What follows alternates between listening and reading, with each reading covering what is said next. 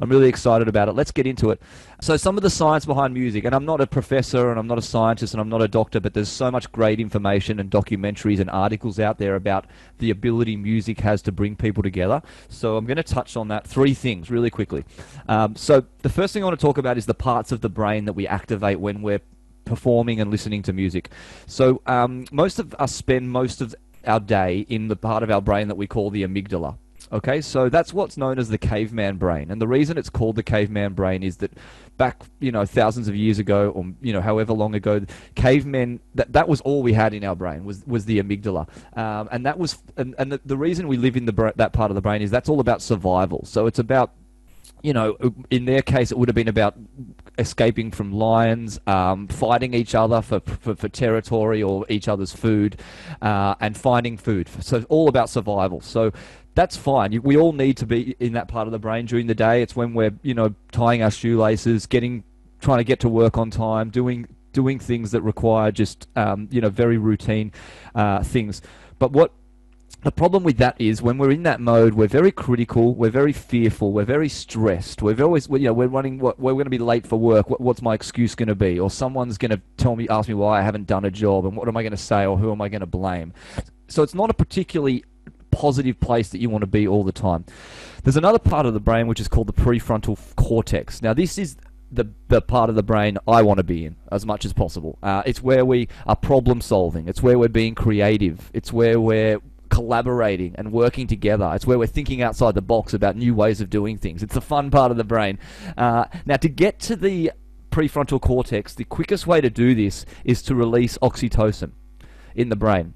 If you're releasing oxytocin, you're activating the prefrontal cortex. What's the, one of the easiest and quickest and legal ways to release oxytocin? Uh, it is by listening to music, performing music, and going to concerts. Uh, it's it's simply that. So when you listen to music, when you sing, when you if you're in a choir, you're releasing oxytocin, and it gets you. And, and when you're creating songs, it actually gets you in the prefrontal cortex, which is where you want to be. So that's a bit about the brain. Um, the second part thing I want to talk about is social bonds. So if you go back even further before cavemen to our um, chimpanzee ancestors, um, now you, oh, and if, even if you go to the zoo right now, you'll notice that they pick um, you'll, have, you ever seen they sit next to each other and they pick bugs off each other? I'm not sure if anyone's ever noticed that before. This, if not, check it out on YouTube.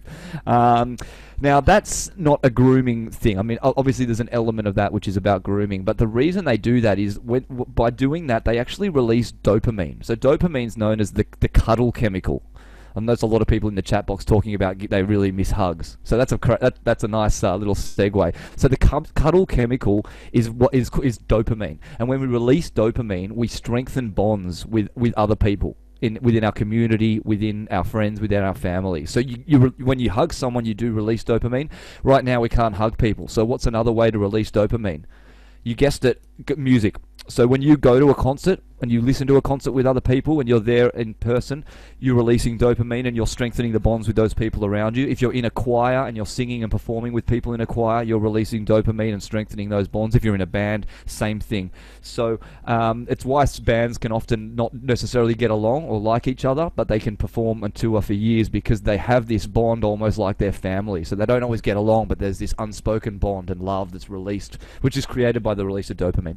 And the final thing I want to talk about is music music and memory. So um, I, I can't really talk to anyone right now, but what I like to do to prove this point is ask if anyone can tell me what they had for lunch last Thursday afternoon, which um, normally would take a while to figure out. These days, maybe it's a bit easier because we're eating. I'm eating the same thing almost every day, salad for lunch. Um, but it's it's quite a hard, difficult thing to do. I don't remember what I had for lunch yesterday, let alone so There we go. Ayaz says tacos. Taco Thursday. I like it.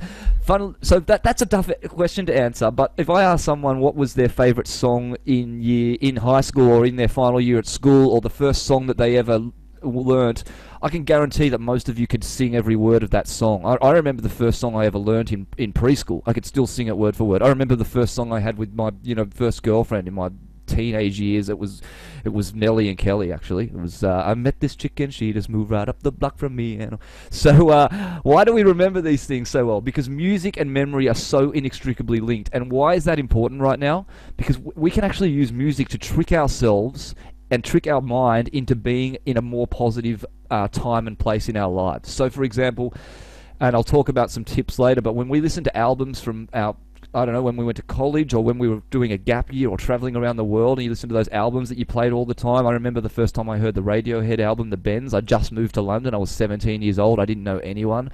And that was a, that album really made me feel like more comfortable and like I wasn't alone in the world. So that's why music and memory are so important right now. So um, that, that that's the top line um, uh, science stuff. I want to move on now real quick because we have such little time. Let's make some music all I need in the audience is for um, the first four, first three or four people that give me a um, any any letter between A and G. A, B, C, D, E, F, and G. Give me one letter each. We got a B. We got a C. we've got an E and a C. Okay, cool. Um, so let's go E. So was, what was it? it was uh, B, B, C. Oh, there we go. G. And and let's go down to the E there. Perfect. And then back to the B.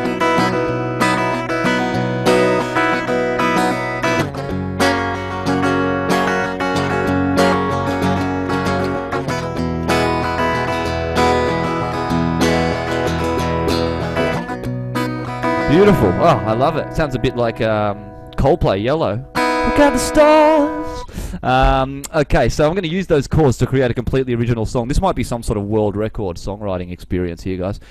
um, we're moving very quick, so we're going to come back to the song in a little while. Let's talk about some tips around you can do at home to stay connected, to stay positive, uh, and to increase productivity. I call this the LCD sound system because I've stole because I love the band LCD sound system, but also it's a lovely little acronym. Can you all see that? So uh, our acronym, some tips around the home: LCD, listen, create, do. That's the LCD Song Division sound system. So we're going to work through these really quick. Okay, listening. A couple of really nice tips, guys, um, that that I do at home. Put on a whole album. Go find a CD, find a vinyl, find a tape, whatever you age bracket uh, or, or go on Spotify. The problem I have with Spotify is you often just find a song you want to listen to and then you hit um, shuffle all or, or it takes you on to other artists that you might like, which is great. But albums were released for a reason back in back in the day, uh, and it was because artists really were, were, releasing what we, they call a body of work, and it was meant to be one piece of art, and it was meant to be a journey, and it was so nice when you'd listen to a whole album in full. So go and find your favorite album and put it on, and give yourself an hour to just go and sit and relax, and whatever that album is, it'll take you back to some memories from when you first heard that album and discovered it. And this, and the reason we do that is we're trying to link music and memory and, and, and take our mind to positive mindsets and times and places in our lives. So that's an easy one. A couple more on listening. Um, go to go, check out some live gigs online. So everyone's streaming themselves right now, doing live gigs. Uh, I'm doing it myself as my, with a solo artist. There's um, MTV Unplugged at home. If you, if you want to check out any websites are doing it. Um, People are doing it on their own Facebook pages. Lots of famous artists doing live concerts. Go and check them out. The reason I'm saying to do this is even though you're not at a concert physically with other people, you are actually still strengthening social bonds by knowing that you can see a thousand other people are watching at the same time. You can comment and have a conversation with someone who's watching the same concert. You can also sometimes chat to the artist and they'll respond to you, which is pretty amazing. So you still can strengthen your social bonds and still feel connected even though you're physically not in the same place. Uh, I've got a lot of these tips, guys, and I know we're moving very quick, so um, you'll get my contact details at the end, and I've got a bunch more. Uh, create, and it's what we're about to do in a second, but there is no reason why you can't be creative at home. Okay, so the first one is a really easy one. You don't even need to actually do any, you know, artistic creation. Go on Spotify, get get get a group of friends together, or get your colleagues. Even better, get your work colleagues if you if you if you got got a work team, and create a Spotify Spotify playlist of songs that you like to listen to while you work. So maybe not uh, ACDC or it depends what you're into, but uh, get, get a uh, curate a playlist, get it going of songs you love to listen to while you're working. Why do we do this? This is this again. This is about creating social bonds with people at work and feeling connected. So you can, we do one at Song Division. You can go on, you can add them to that, and it's a it's a living, breathing playlist which is always changing. Um, but it's a nice way to share. Um, it's a great conversation starter. Share with people at your work. Oh, I can't believe you listened to you know Guns and Roses while you're working. I, I listen to classical music, and it's a nice way to start a conversation, and it's a nice way to explore and discover new music.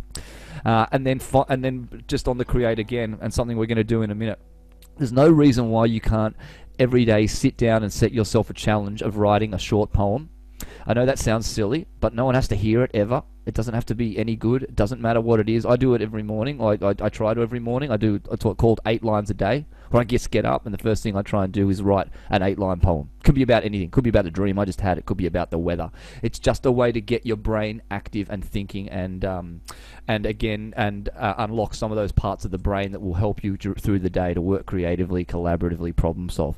Um, another one I'd love to do is a big group uh, in a minute is um, the the final D. Uh, D here is do. So uh, we're going to be creating an original song, but before we do that, do some there's some really simple breathing and warm up exercises you can do at home. Do it in the shower. Do it whenever you want. There's no need to be embarrassed about it. A, a, a simple breathing exercises I learned at university. I've got a, a degree in classical voice um, from the Sydney Conservatorium of Music, and a simple breathing exercise I learned rather than the breathe in for three, out for three, which some people do or whatever it is, um, is breathe all the air out you have in your in your lungs. Hold that feeling of having no breath for five seconds and then take a really nice natural breath. And I do that three times in the morning. So we can do it as a group right now. We're going to blow out all the air we have in our body. Hold it for five seconds.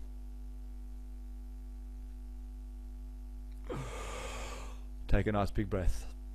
It's a really nice way to let your body naturally take the perfect breath. You don't need to worry about, am I taking enough breath in? Your body will take the amount of breath it needs to survive naturally. So I do that every morning to get going. And then I simply, in the shower, hum sirens. If you don't want to sing, you don't want to be loud, if you're embarrassed, all you need to do is hum some sirens in the shower. The, um, the, the humidity in there will, will naturally warm your voice up anyway, but it's simple, just a simple siren. So, mm,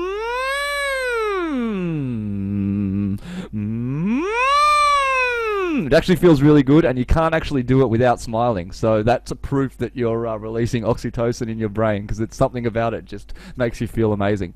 Uh, so some uh, some real simple tips there, guys, as well. And and I've got a million and one of these. So reach out to me if you'd like some more examples of things you can do around the house. That's our LCD sound system.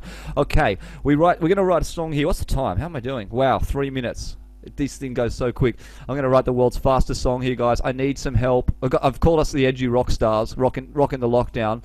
Um, I need your help to fill out, to fill in the blanks. Times are crazy, times are tough. Can someone, Richard, you might want to read them out for me. Times are crazy, times are tough. Anyone got something that rhymes with that? Times are crazy. What were our chords again? B. Times are crazy, times are tough. What do we got? And you guys can work ahead if you want. There's there's some simple things that you can do. Simple things that you can do. Times are crazy. Times are tough. Come on. What do I we got? Tough. You got rough. But yeah, if everyone puts stuff in the in the stuff. We'll times are crazy. That. Times are tough. You might be feeling a little rough. Has anyone got a whole line or just a word? You might be. Let's do that. You might be feeling a little rough. Okay, the next one. There's some simple things that you can do.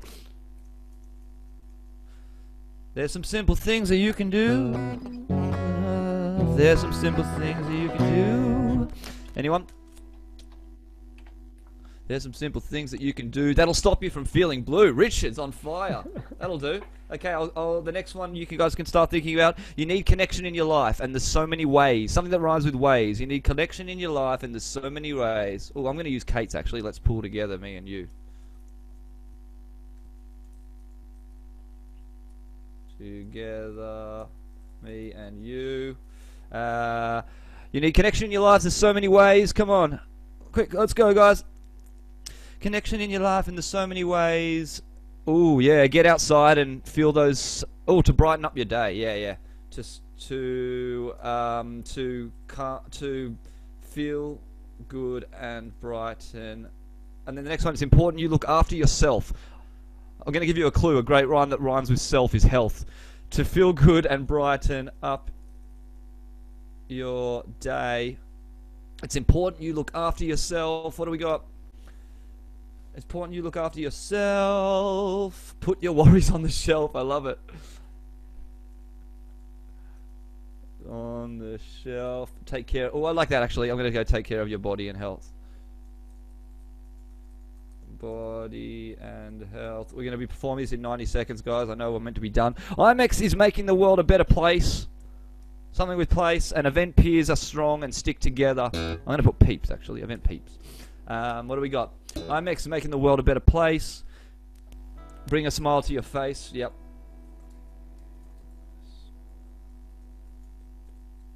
Face.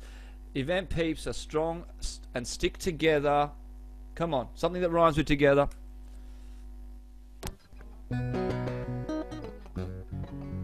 What do we got? Yep, we all know this will soon be better. I will. Okay, that's it. Well done, everyone. Thank you for your help. Um, we all know this will soon be better. And now I'm going to perform it while trying to change slides as well. It's all happening here. Alrighty, here we go.